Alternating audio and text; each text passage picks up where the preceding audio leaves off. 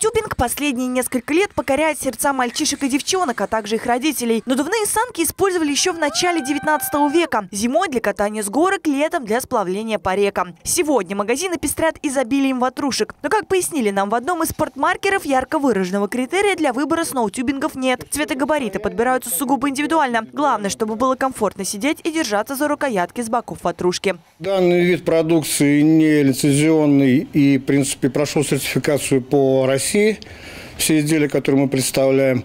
Некоторые заводы, наиболее серьезные компании представляют инструкцию, которую мы, соответственно, при продаже ватрушки вручаем покупателю. Чем больше диаметр ватрушки, тем она устойчивее. С таких надувных санок риск перевернуться уменьшается в разы. Есть как бы такое ошибочное мнение, что это поскольку используется э, в данном изделии камера от автомобиля, как правило, все стараются накачать до уровня автомобиля то есть 2 атмосферы и больше.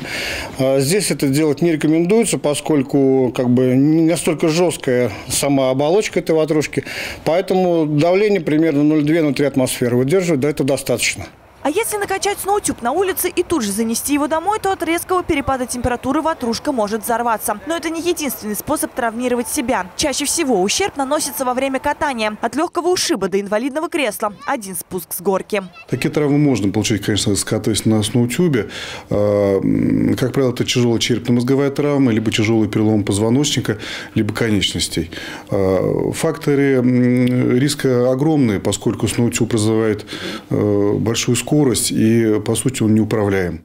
Главврач успокаивает. Региональная статистика в этом году пока утешительная. На улице дети травм получают меньше. Например, за прошедшие новогодние каникулы в приемное отделение больницы обратились 66 юных пациентов, получивших повреждения на открытом воздухе. 29 детей госпитализированы. Из них 8 ребят травмировались, катаясь на сноутюбах, катках и снежных горках. Желательно обратиться в ближайший травмпункт а, для диагностических мероприятий. Если же травма серьезная, требует стационарного лечения, то а, такой пациент пациент будет направлен в дежурный стационар.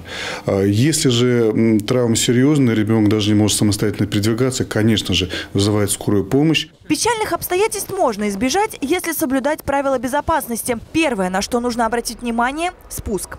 В Ульяновске организовано как минимум 6 горок, где централизованно с ветерком можно прокатиться на санках, ледянках или ватрушках. Главный критерий безопасности – это трасса.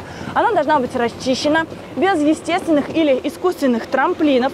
Уклон спуска не должен превышать 20 градусов, но заканчиваться трасса должна таким образом, чтобы ватрушка могла спокойно затормозить.